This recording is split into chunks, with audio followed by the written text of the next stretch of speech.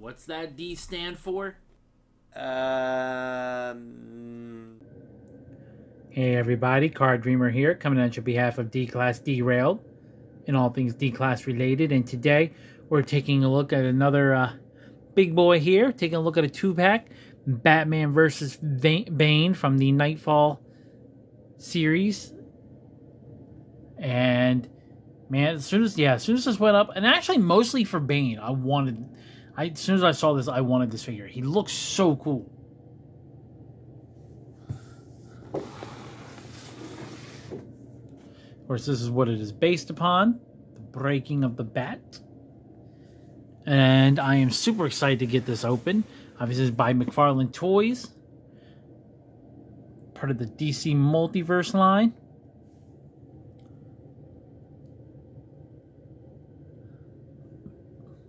Looks pretty good. I don't like that they get lazy though with the batarangs. Like they don't have to understand they may be casting in the same mold. But come on, paint the thing to at least look realistic. He didn't throw blue batarangs. But anyway, other than that, I'm super stoked, especially since I believe that's a cloth cape, a soft goods cape. So that should be really cool. It's a wired one. But yeah, let's get this open and check it out.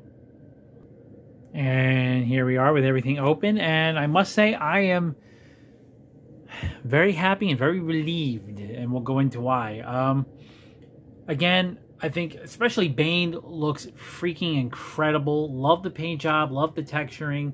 Everything is solid. He's the one I was worried about because I had read reviews and seen on Reddit for quite a few people that their Bane pretty much came broken in package. As soon as they took him out, uh, limbs were falling off and everything.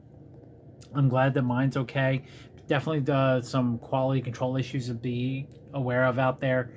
But I think he moved incredibly well. Butterfly shoulders, elbow joints. I go about mm, not quite 90, but a little more than 45. Uh, the head does looks up a little bit, but looks down a good amount. Definitely can turn left and right, tilts.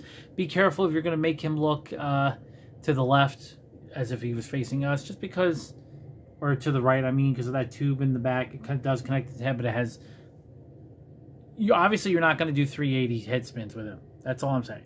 But good head, decent head range motion. Um, the wrist rotate and bend. He's got some torso crunch, or I should say, not torso crunch. Uh, he can definitely rotate at the waist. Good leg splitting action. Uh, double jointed knees. The the feet ankles. Feet swivel at the ankle. They bend and of course toe articulation. So he's really, really well done. Batman looks a little bit up, looks down, head rotation, all that good stuff. Butterfly shoulders, double jointed elbows, the wrist rotating bend.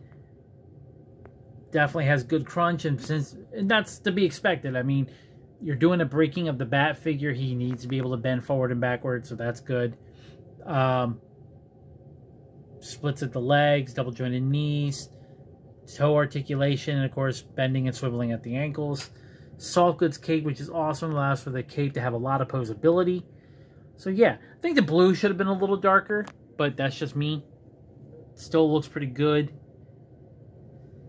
Uh, he needs some lips there, but other than that, can't argue. Definitely beat up. Comes with two stands, one for each figure. Some uh, alternate hands for Batman. Batarang. Alternate hands for Bane. Some fists. And of course the multiverse card, which is a little bent. But um, so this is going to tie it.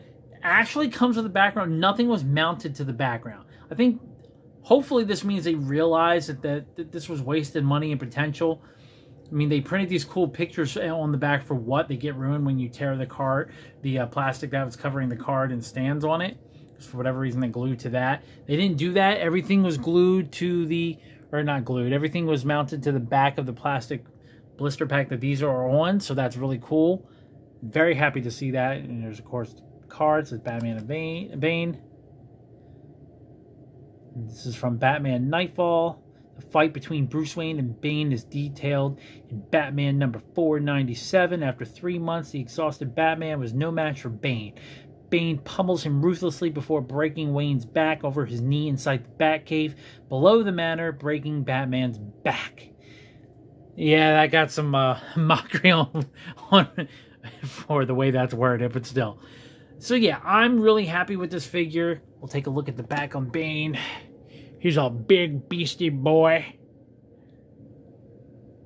But yeah, I, I'm really happy with this. I'm really happy to have a DC background that I can use.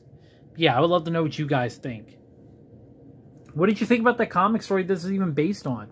I mean, it's pretty iconic to have Batman have his back broken. What do you think of these figures? Are these grabs or passes? Leave your comments down below. And until next time, I'm Card Dreamer. This has been D-Class D-Railed. Stay evil.